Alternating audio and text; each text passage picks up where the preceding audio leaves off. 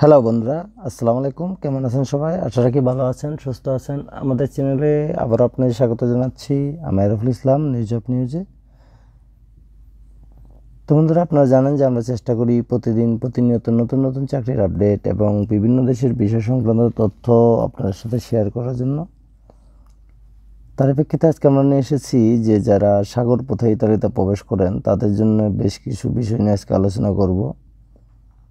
যে আসলে সাগর পথে যারা পাড়ি দেন, তারা আসলে কী কী বিষয়গুলো মাথায় রাখবেন এবং তাদের যে ধাপগুলো আছে, সেই ধাপগুলো কী কী? যারা যদি এই সাগর পথে পাড়ি দেওয়াটা খুবই বিপজ্জনক, আপনারা সবাই জানেন এবং যারা সাগর পথে ইতালিতে যেতে চান, তাদের যে জীবনের যে মায়া, সেটা ত্যাগ করেই যেতে হয়। তো আমি সবসময় মনে করি যে আসলে জীবনের চেয়ে টাকা বড় হতে পারে না কখনো। কারণ টাকা গেলে টাকা আসবে, কিন্তু জীবন একবার গেলে সেটা আর ফেরত পাওয়া যায় না। তো বন্ধুরা, ইতালি তারপরেও যারা ইতালিতে সাগর পথে যারা ইতালি প্রবেশ করবেন, তাদের যে জিনিসটা জানা খুব প্রয়োজন। তো সেই বিষয় নিয়ে আজকে আমরা আলোচনা করব। তো মূল ভিডিওতে যারা আগে বন্ধুদের কাছে ছোট্ট একটি রিকোয়েস্ট থাকবে, যারা আমাদের চ্যানেলটি এখনও সাবস্ক্রাইব করেন নাই আমাদের ছোট্ট পরিবারের সদস্য নাই অবশ্য অবশ্যই চ্যানেলটি সাবস্ক্রাইব করে আমাদের ছোট্ট পরিবারের সদস্য হয়ে যাবেন। আর যারা চ্যানেলটি সাবস্ক্রাইব করেছেন, তাদেরকে জানাচ্ছি ভালোবাসা ও কৃতজ্ঞতা। বন্ধুরা, যারা ভূমধ্যসাগর পাড়ি দিয়ে ইতালিতে যান, নৌকায়, লঞ্চে বিভিন্নভাবে বিভিন্ন উপায়ে, তাদের জন্যই মূলত আজকের এই ভিডিওটা। যারা কখনো চিন্তা করছেন যে যাব কি যাব না, তাদের জন্য মূলত এই ভিডিও। ভূমধ্য সাগরের বিপজ্জনক পথে ইউরোপে ঢুকতে চেষ্টা করেন বহু অভিবাসী। তাদের আশা থাকে, কোনো মতে ভূমধ্য সাগর হয়ে ইউরোপে পানিতে ডুবে পড়লে কোনো উদ্ধারকারী দল তাদের নিয়ে ইতালি বা অন্য কোনো ইউরোপীয় দেশে ছেড়ে দেবে। যদিও মাল্টা সাইপাস ও স্পেন এই পন্থা অনেক এসে পৌঁছেছে ইতালিতে সবচেয়ে বেশি সংখ্যক উদ্ধারকারী জাহাজ ছেড়ে নোঙ্গর ফেলে। দু হাজার বিশ সালে চৌত্রিশ হাজার বেশি অভিবাসী সাগরপথে ইতালিতে পৌঁছায়, এর মধ্যে বেশিরভাগই যায় লাম্পেদুসা, সিসিলা ও কালাম্বিয়া অঞ্চলে। কিন্তু এই জায়গাগুলিতে পৌঁছানোর পর কী হয়?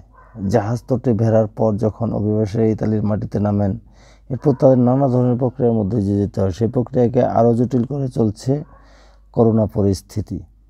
তো বন্ধুরা সেই বিষয় নিয়ে আলোচনা করতে যাচ্ছি যে প্রথম ধাপটা হচ্ছে হটস্পট ইতালির সীমান্তবর্তী এলাকাগুলো জুড়ে রয়েছে অসংখ্য অভিবাসী নিবন্ধন কেন্দ্র, যাদেরকে স্থানীয়রা হটস্পট বলে থাকে।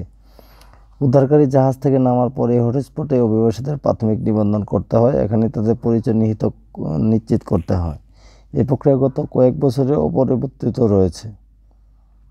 এডেলেট মেসিমি, ইতালির অভিবাসন বিষয়ক সংস্থা, এএসজিআইতে আইনি পরামর্শদাতাদের কাছে তিনি বলেন সাধারণত এই প্রক্রিয়াটা লাম্পেদুসায় সেরে নেওয়া হয়। এছাড়া পোজালো সিসিলি ও পুলিয়া অঞ্চলের আহ, তারানন্তরে রয়েছে এমন হটস্পট।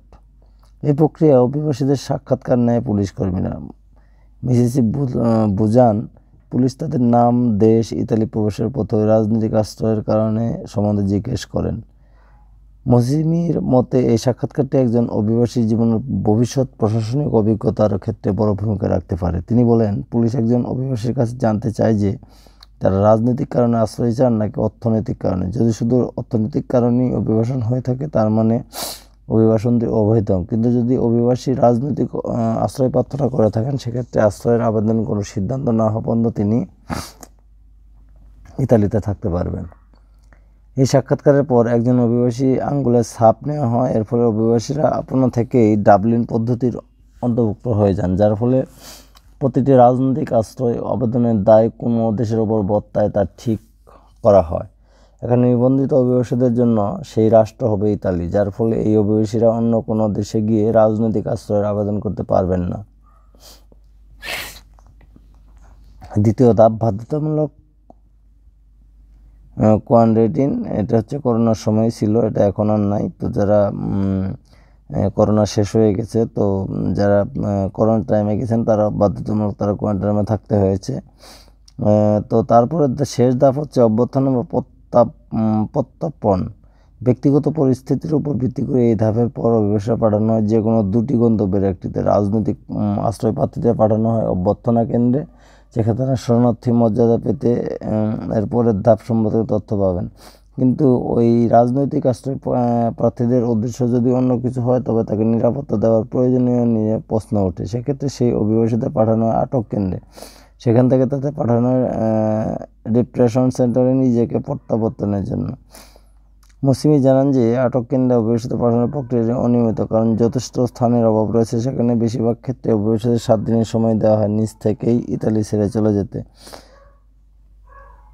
তো বন্ধুরা, যারা ইতালিতে সাগর পথে যাবেন, আমি সবসময় একটা কথা বলি যে জীবনের চেয়ে টাকার মূল্য কোনোভাবেই বেশি হতে পারে না। তো যারা সাগর পথে যাবেন, তারা অবশ্যই ভেবেচিন্তে যাবেন, কারণ সাগর পথে অনেকগুলো স্টেপ রয়েছে, অনেকগুলো ধাপ রয়েছে। তো যারা এর আগে অনেক, অনেকেই গেছেন তাদের কাছ থেকে মূলত এগুলো শুনে শুনে আমরা অভ্যস্ত হয়ে গেছি। তো আপনারা যারা ইতালিতে যেতে চান, অবশ্যই বৈধ পথে যাওয়ার চেষ্টা করবেন। আমি কখনো সাপোর্ট করি না সাগর পথে আপনারা ইতালিতে প্রবেশ করেন। তো বন্ধুরা, আজকে এই ছিল আপনার জন্য নতুন একটি ভিডিও আশা রাখি ভিডিওটি ভালো লেগেছে। যদি ভালো লেগে থাকে, অবশ্যই ভিডিওটি লাইক করবেন কমেন্টস করবেন শেয়ার করবেন এবং আমাদের পরবর্তী নতুন ভিডিও দেখার আহ্বান রইল। সবাই ভালো থাকুন, সুস্থ থাকুন।